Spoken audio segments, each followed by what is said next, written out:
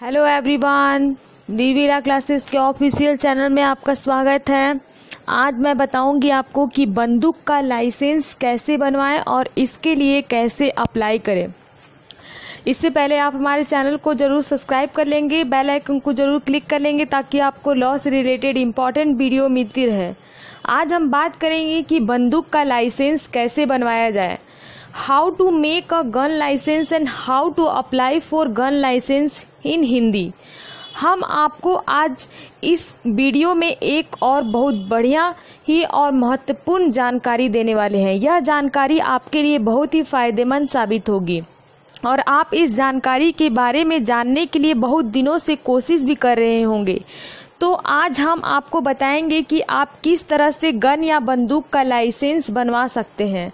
और गन या बंदूक का लाइसेंस बनवाने के लिए किन किन डॉक्यूमेंट की ज़रूरत पड़ती है, लाइसेंस बनवाने के लिए आपको क्या क्या काम करना पड़ता है, इन सभी के बारे में हम नीचे आपको पूर इस वीडियो में हम आपको पूरी जानकारी देंगे। क्योंकि आज के समय में बहुत से लोग ऐसे हैं जो अपने पास अपनी सुरक्षा के लिए एक बंदूक रखना चाहते हैं। क्योंकि कई बार उन लोगों को किसी के साथ बैर हो जाता है या लड़ाई हो जाती है जिसके कारण उनको अपनी जान का खतरा रहता है।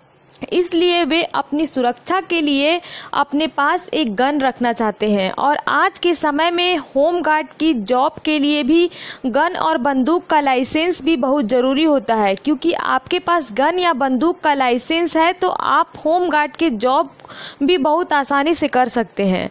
तो आपके लिए इन दोनों तरह के गन या बंदूक का लाइसेंस बहुत ही ज़रूरी होता है। इस वीडियो में हम आपको बताएँगे कि गन का लाइसेंस कैसे बनवाते हैं। लाइसेंस बनवाने के लिए ज़रूरी डॉक्यूमेंट हम आपको बता देते हैं। तो अगर आप किसी गन या बंदूक का लाइसेंस लेना चाहते हैं तो आपको किन किन डॉक्यूमेंट की ज़रूरत पड़ती है? अगर आप अपने गन का लाइसेंस लेना चाहते हैं तो आपको कई प्रकार के अलग अलग तरह के डॉक्यूमेंट देने की आवश्यकता होती है। वैसे तो आपको अपनी पहचान, आपका पता और आपकी फिटनेस का प्रूफ देना ही होता है।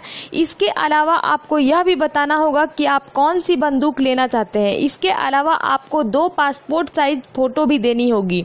इसके साथ आपको अपने वोटर आईडी एंड साथ साथ पिछले तीन साल का इनकम टैक्स रिटर्न का पूरी जानकारी भी देना होगा। और अपने क्षेत्र में दो अच्छे आदमियों के करेक्टर सर्टिफिकेट आपकी फ़िज़िकल फिटनेस सर्टिफिकेट और आपकी पढ़ाई का सर्टिफिकेट की कॉपी आपकी जन्म प्रमाण पत्र की फ़ोटो कॉपी के साथ साथ आपको यह भी बताना होगा कि आपके पास बंदूक या गन किस लिए रखना चाहते हैं।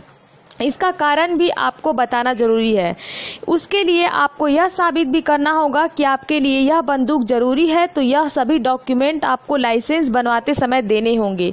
इन सभी डॉक्यूमेंट को अपने पास ज़रूर रखें और इन सभी फ़ोटो कॉपी को भी अपने पास ज़रूर रखें। तो हम आपको इस वीडियो में बताएँगे कि भारत में किस आ, किस तरह के हथियार के लाइसेंस के लिए आप आवेदन कर सकते हैं। भारत में लाइसेंस के लिए बनवाने के लिए आप अप्लाई कर सकते हैं। भारत सरकार के नियमों के अनुसार हमारे देश में सिर्फ़ तीन तरह के बंदूक लाइसेंस बनाए जा सकते हैं।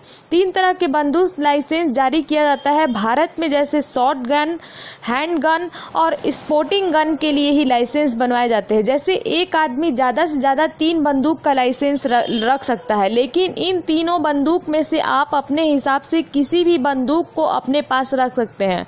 चाहे एक तरह की एक तरह की थी तीनों बंदूकें आप अपने पास रख सकते हैं। तीन अलग अलग हो वह आपकी मर्ज़ी है। आप किस तरह की बंदूक अपने पास रखना चाहते हैं? लेकिन आप तीन से ज़्यादा बंदूक अपने पास नहीं रख सकते हैं। और आपको, मैं आगे की वीडियो में बताऊँगी कि उसकी लाइसेंस की फ़ीस क्या होती है। अब आप, यह जानना आपके लिए बहुत ज़रूरी हो जाता है कि, क्योंकि आज के समय में बहुत से लोगों को पता नहीं होता है कि लाइसेंस की फ़ीस कितनी होती है। और किसी अनजान आदमी या किसी दूसरी आदमी से अपना लाइसेंस बनवाना चाहते हैं और जिससे उन्हें कई बार बहुत ज़्यादा पैसे भी ले, देने पड़ते हैं। और कई बार उनके, पैसे लेकर भाग जाता है।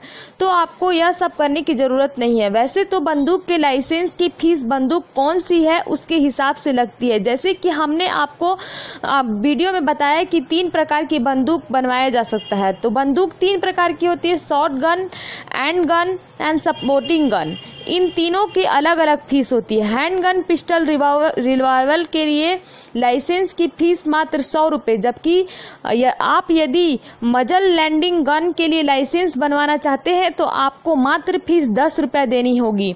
और इस गन के अलावा रिन्यूअल के लिए सिर्फ़ पाँच रुपये देने होंगे। इसके अलावा आप अगर ज़्यादा जानकारी के लिए चाहते हैं तो नज़दीकी पुलिस स्टेशन या थाने में आप जा सकते हैं या उसकी जानकारी आप ले सकते हैं। अब बंदूक लाइसेंस की बात आती है। अब हमारे पास तो बंदूक हो गया लेकिन लाइसेंस के लिए कैसे अप्लाई करें अब हम जानते हैं। इसके लिए आग, आपको आगे की वीडियो के लिए देखने के लिए आपको सुनने के लिए हमारे नेक्स्ट वीडियो को देखना होगा। तब तक आप हमारे चैनल को सब्सक्राइब कर ले बेलाइकन क्लिक कर ले ताकि आपको लॉ से रिलेटेड इंपॉर्टेंट वीडियो मिलती रहे। मैं आपको आगे की वीडियो में बताऊँगी कि बंदूक लाइसेंस के लिए कैसे अप्लाई करना है। Thank you.